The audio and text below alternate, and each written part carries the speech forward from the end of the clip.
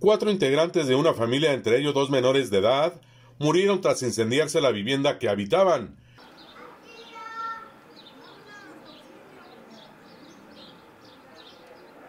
Esos lamentables hechos, que causaron consternación en la sociedad lagunera, ocurrieron cerca de las 3 de la madrugada del domingo 7 de febrero en el ejido Paso del Águila, perteneciente al municipio de Torreón. Las víctimas fueron identificadas como Eduardo López García, de 38 años de edad, Lisbeth Guerrero Rodríguez, de 23 años, así como un niño de 5 años y una menor de tan solo 3 años de edad. De acuerdo a versiones de vecinos, los dos menores son hermanos, la mujer su madre y el hombre era su padrastro. Comentaron que a la hora del siniestro percibieron un olor a quemado y se percataron que el domicilio era consumido por las llamas. De manera infructuosa, intentaron extinguir el fuego con cubetas de agua mientras arribaban los cuerpos de auxilio.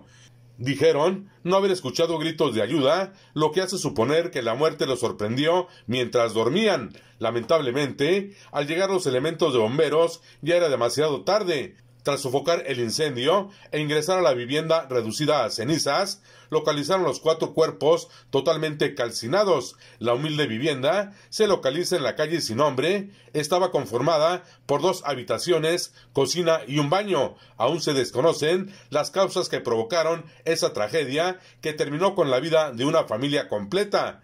Al lugar del siniestro acudió personal del Ministerio Público para dar fe de los hechos. Enseguida realizaron el levantamiento de los cuerpos que fueron enviados a las instalaciones del Servicio Médico Forense para determinar qué provocó sus muertes si fallecieron por intoxicación o calcinados. El domicilio fue acordonado con cinta amarilla. Peritos de la Fiscalía General del Estado abrieron carpeta de investigación que permitan precisar qué provocó el incendio con imágenes de Alejandro Hernández para RCG Media Informa, Alfonso Hernández.